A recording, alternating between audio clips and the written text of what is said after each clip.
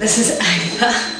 Agatha is our youngest. Some photos you like more than others as well. So there's just some photos that you take and you're just so proud of them. You just, it's just quite fun to send them to everyone. Subject all of your relatives to them.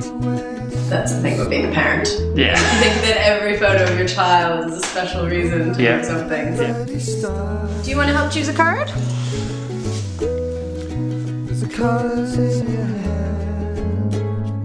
But it looks actually it looks like you print like it looks as good a quality as if you had printed it if you'd sent it to, you know, Apple or something and asked them to print a print. It wouldn't look any nicer than that.